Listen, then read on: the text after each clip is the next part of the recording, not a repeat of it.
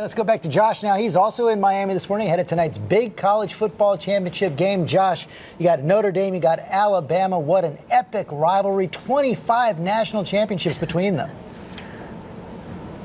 in the offing, George. It is a dream matchup, as you mentioned, both for a network and most of a nation. It is the game everybody wants to see. Not surprising, then, that tickets for tonight's game here in Miami at Sun Life Stadium are at a premium. Seats going Prepare yourself for an astonishing $60,000 on StubHub, and that was just yesterday. Those prices could be going up. Seats that aren't prime viewing, really up here in the nosebleeds, almost $1,000 a piece, all to get as close as possible to right here, to this field, for a game for the ages.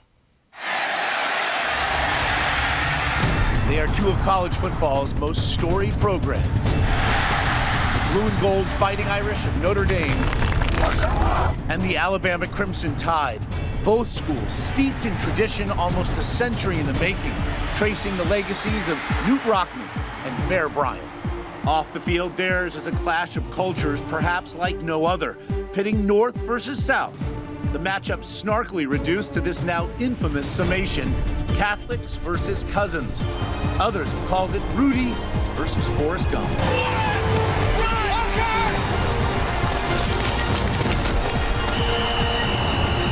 Notre Dame's most famous alum and arguably biggest fan, Regis Philbin, Crimson Tide's biggest fan, former Alabama quarterback, Broadway Joe Namath. To me, as a fan, it's wonderful. You know, for the players, of course, uh, it's got to be a dream come true to win a championship, to be in position to win a championship. Number two, Alabama is looking to win its second straight national title and a third in four years. We're here to win a football game. It's going to be a very challenging game, no doubt. Standing in its way, undefeated Notre Dame, looking for its first national title in a quarter century, and more important, to retake its place among college football's elite. What will it mean for Notre Dame if it wins the title well, it'll mean a great deal to the students because the students identify with their years in school by where they finished in football. And with an estimated 25 million people expected to tune in, it's a mammoth production for hundreds of ESPN staffers, including the senior producer in charge yeah, of it all. For you personally, this game, what's it going to mean to you? This is just to be part of a huge team that does something like this and see the payoff, and it's awesome. Mm -hmm. I mean, it's what you do it for.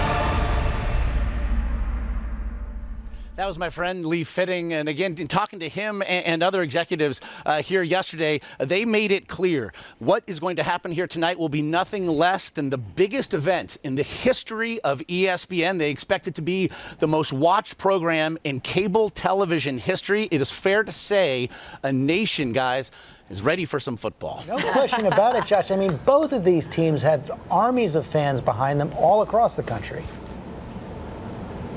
Yeah, and it's interesting as I traveled here from New York City was something of a metaphor for the game. I looked around uh, at JFK in New York and thought, wow, Notre Dame is really, really traveling well uh, from the north, coming from the big cities. But then when we got down here, it seems like the entire city of Tuscaloosa has relocated. The entire state of Alabama is here. I tell you what, they are ready. Uh, the hype is done. Let's play some football. It's going to be a spectacular night. And of course, that is all on ESPN tonight.